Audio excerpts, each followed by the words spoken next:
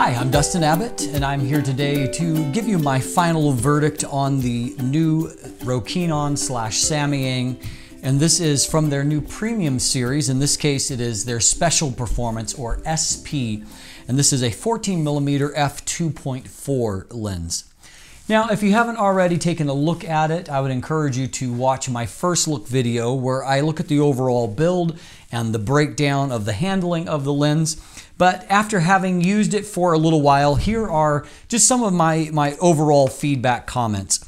One thing I did notice is that I find that the uh, focus ring could be a little bit smoother. There's just a little bit of almost the feeling of drag that may be copy specific in this, but it almost feels like it's not as uh, mechanically, smoothly mechanically damped as it could be.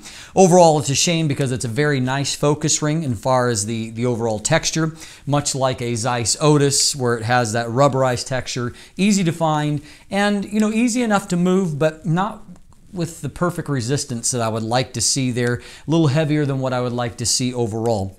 Other thing is, as far as a criticism of the build, is that I, I, I don't understand the logic behind building a premium series lens and not including weather sealing as a part of it.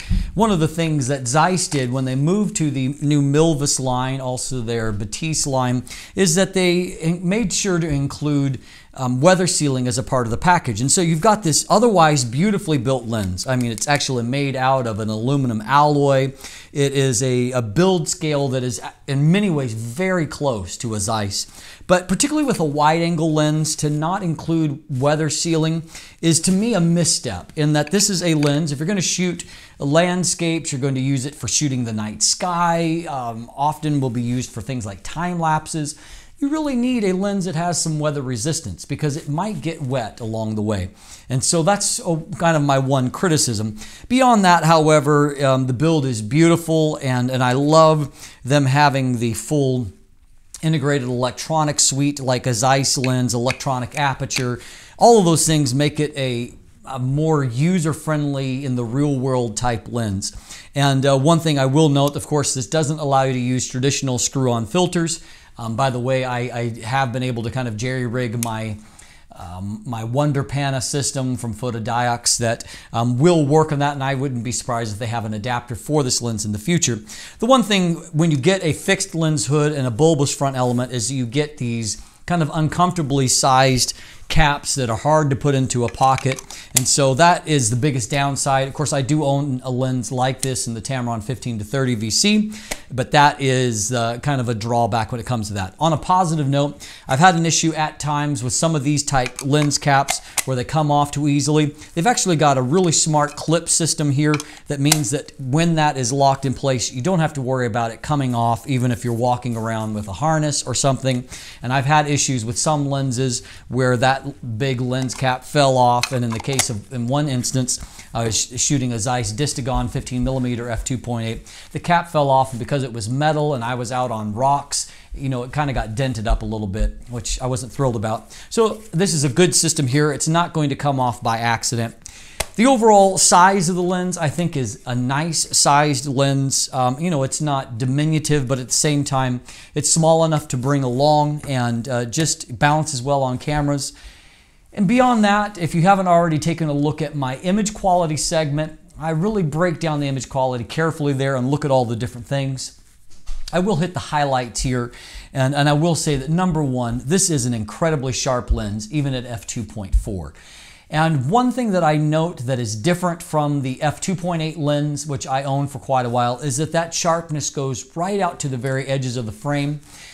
The older lens uh, or existing f2.8 version lens I found was affected by some distortion stretching along the edges, whereas the resolution was fine, but it didn't look fine because of that distortion much less distortion with this lens thus you're able to get a, a more flat plane of focus and I found that I, that sharpness, even at f2.4, went right out to the edges. And as you stop down this lens further to more traditional, um, you know, apertures for shooting landscapes, f5.6, f8, it is brilliantly sharp. And uh, that sharpness is very even across the frame.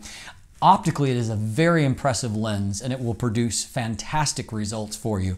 And so in real world shooting i was really delighted with the look of images. I love with a wide angle lens when you of course you have so much information in the frame but to be able to zoom into a pixel level and to see fine detail rendered there i love it. And and so um, this lens is really tempting optically. I mentioned distortion. It does have some barrel distortion in it and however, I was able to basically eliminate that distortion by just a manual adjustment of 9 in Lightroom, which is a fairly small value. And so there's no there's nothing complex about the distortion pattern. And so once there is a standard profile, I don't think that that will be too much of an issue. And of course, the advantage of having such a wide focal length is is that even after some correction of distortion, you really don't lose much of the frame. You still get a lot of information there. And so overall, I was happy with that. Chromatic aberrations, very well controlled with this lens. CA is not a problem, and even at wide apertures, uh, there's not lateral CA. I'm not really seeing uh, much of an issue with, with longitudinal CA. It really does a great job. Then, of course, of perhaps of paramount importance, or chromatic aberration correction is fantastic. In other words, when you're shooting the night sky, you're shooting the stars, this is one of the best, if not the best lens that I have seen for controlling coma. Now the 14 millimeter f2.8, that was already a strength for it. But uh, Rokinon Samyang, they have taken it a step further and it's even better here. And of course, that extra bit of light, f2.4 versus f2.8, allows you to, uh, to make this just an even better lens for shooting the night sky. And so it really does an exceptional job there. And the only reason when I compared, uh, you know, kind of mentally side by side between it and the Tamron, the only reason why I think the Tamron would be equally good in some situations, even though there's a bit more coma on the, on the Tamron, is that it does a much better job of controlling vignette. And that is the one optical weakness that I found here. Vignette is quite heavy at wide apertures and even at f5.6, it's not 100% corrected. And so, again, at the moment, there's no profile for it in Lightroom or Adobe Camera Raw. And so I'm, you know, I'm having to manually correct for it, which you can do, but it takes a lot of correction. And, and so that is the one optical weakness that you're going to discover. And so Obviously, this impacts you more if you have a body that does not allow you to push shadows very well. And so, like, for example, shooting on a 5D Mark IV, and I've even used it on an adapter some on a Sony a7R II. Um, on those bodies that do quite a good job with shadow recovery, it's not really all that big of an impact. But if you are shooting with a body that kind of punishes you if you push shadows, that may be a concern for you. But overall, the optics are very, very positive. And so this is a manual focus only lens. Um, however, because it has the focus confirmation, um, it, and of course it has full electronics, it meters properly, there's no issues there. And you do have to manually focus it, but if you develop any kind of experience with wide angle manual focus lenses, there's really not a whole lot of focus involved unless you happen to be focusing down on a very close object. Most of the time you can kind of just set focus and um, you just kind of use a hyperfocal setting and everything's going to be in focus all the time. And so you don't even really have to think about focus. But um, overall, this is a, not a challenging lens. If you're concerned about manual focus, it's not really a, a challenging lens to manual focus. Now, manual focus will be a, a drawback for some people. The other thing that I, has already been a challenge for some in terms of their feedback is the price. Now, the previous generation lens can often be had for under $400. And so it's always been a bargain, and I've praised it as such for a long time. For those looking for a good quality, wide angle lens, but had limited budget, the previous generation lens is one that I've pushed a lot of people before. Now, I will say that in real world use, this is a much more user friendly lens. It is, it is vastly easier to use in every way um, in everyday use. I, I find it a joy to use actually overall.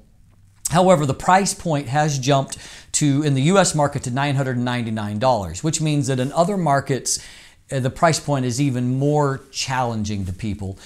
And so as a result, I think that Rokinon is facing, Samyang, they're facing that, that challenge of trying to develop premium lenses and testing the limits of what their brand allows in terms of pricing. And I don't know that it extends this far yet uh, for a lens like this. I have noted that already there uh, at B&H Photo just this last week, that it may still be running, there has been an instant um, rebate of $200 off the price. And so at 799, I think it's a great value. And you know, uh, Samyang may find that that's where their price point is for this lens, and that's what the market will bear. And, and so that may become permanent. I don't know, or it could just be a temporary thing. But I do think that they'll probably move a lot more units at that price point compared to $999, which is getting up close enough to some other competitors that people may do some cross shopping. I will say, all of that aside, that I don't know that I've seen a wide angle lens yet that performs better than this lens when you consider all the different metrics involved. It's incredibly sharp. Um, distortion is well enough controlled that you can make it work. The only downside really is the vignette. It's a great night sky lens, and if it didn't have the heavy vignette, it'd be even better, but it still prov provides great results. So overall, I have no problem giving this a recommendation, particularly if you can get it at that $799 price point. I think it's well worth your money. It's a beautifully built lens. It's going to hold up. I wish it was weather sealed. Um, but beyond that, I, I, think that it is, it's a, it's a great lens and I've enjoyed shooting with it. I like the images that I'm getting from it. I'm Dustin Abbott, and if you look in my linkage down below description, you can find a linkage to my full written review, also to the image gallery, different images I've been shooting during this time. You can follow me there on social media, and of course, if you're really feeling generous today, you can make a, a donation. Thanks for watching, and if you haven't already, please click that subscribe button. Have a great day.